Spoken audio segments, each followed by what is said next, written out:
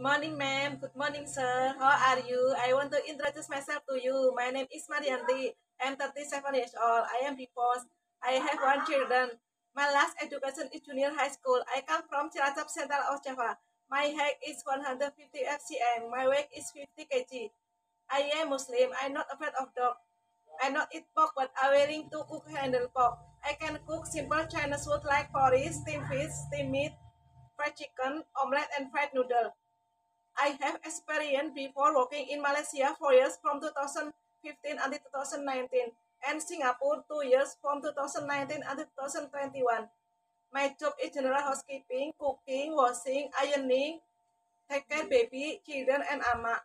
I want go to Hong Kong because I want to earn money for my family and my future.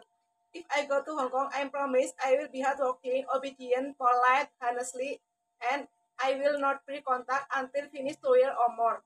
I finish introduce myself to you, ma'am, sir. Thank you, ma'am. Thank you, sir. See you in Hong Kong. Bye bye.